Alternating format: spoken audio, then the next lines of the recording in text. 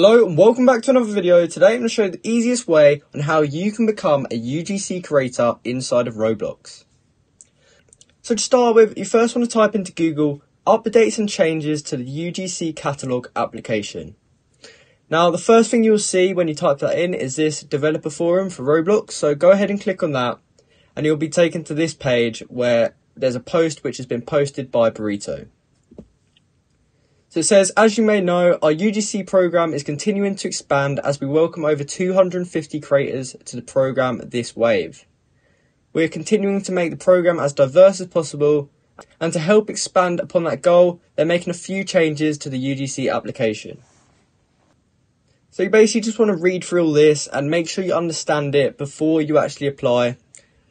So they say, starting today, you can submit an application at any time Anyone interested in joining the program is welcome. However, the program is in high demand and it could take multiple weeks for you to hear back from them.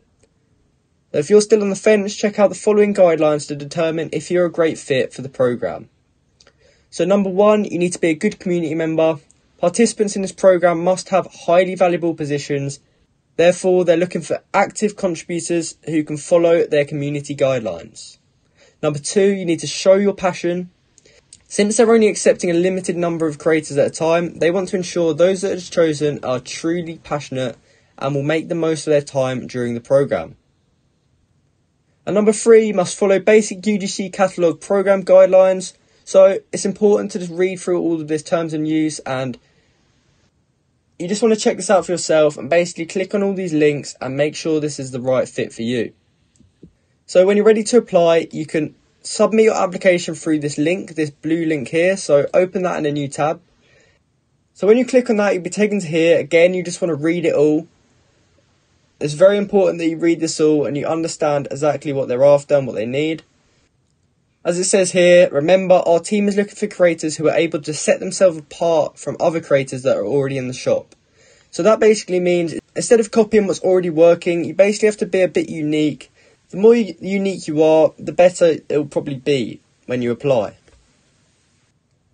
So what you want to do is just scroll down to the bottom of this page and then type in your birthday. And then after you've done that, click this arrow here to go to the next page and you'll be taken to this form. So you just want to fill in your first name, last name, email address, Roblox username, what country you're located in, your Twitter handle, and how did you hear about this application. And from there, you can progress forward in the form. And after that, your application will successfully have been submitted. Now it says here, after they've reviewed your application, they will send you a message via the dev forum with information about your submission status. If your application is accepted, they will contact you and begin the onboarding process, along with an email containing further information on your onboarding. If your application is rejected, you'll receive a notice letting you know that you are not accepted into the program this time, but they encourage you to continue working on your application and consider applying again in the future. So I hope you found this video helpful and I hope you successfully managed to apply and hopefully got accepted into the UGC Creator Program for Roblox. If you did find this video helpful, please comment down below to say that it helped you out and like and subscribe for more content like this. Thank you for watching.